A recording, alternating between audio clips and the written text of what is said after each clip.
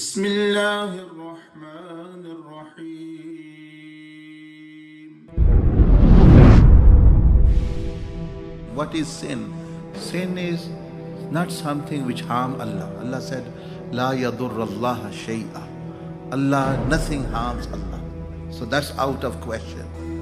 हम समझते हैं कि अल्लाह का कोई नुकसान हो जाएगा गुनाह से अल्लाह का कोई नुकसान नहीं होता अल्लाह पाक ने कुरान मजीद में ये इरशाद फरमाया नहीं हदीस शरीफ में, हदीस कुदसी में नबी रवायत करते हैं कि अगर तमाम बंदे फ़िरौन मतलब ये कि गुनागार बन जाए और बगावत कर दें, अल्लाह पाक की बड़ाई में ज़र्रा बराबर भी कमी नहीं आती। क्योंकि वो डिपेंडेंट नहीं है, मखलूक। He is Samad he is needless he doesn't need anything so Allah पाक ने भी फरमाया ला यदुर अल्लाह शैआ कि कोई अल्लाह का नुकसान तो गुनाह फिर किसका नुकसान है गुनाह बंदे का नुकसान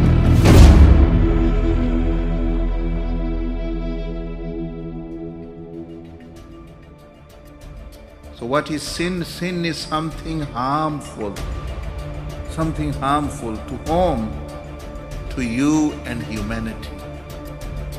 And to you, your dunya, your body, your mind, your heart. It is harmful for your body, it is harmful for your heart. It is harmful for your mind, it is harmful for your nafs, it is harmful for your spouse, it is harmful for your death, and it is harmful for your grave, it is harmful for your day of judgment, it is harmful for your scales when you will be standing in front of your scales, and it will harm you when you will be directly face to face in the presence of Allah. And it will harm you on bridge of Sirat and it will also harm you in the hellfire. That is what sin is. It is not something which harms Allah, nor actually there is any good deed which benefits Allah.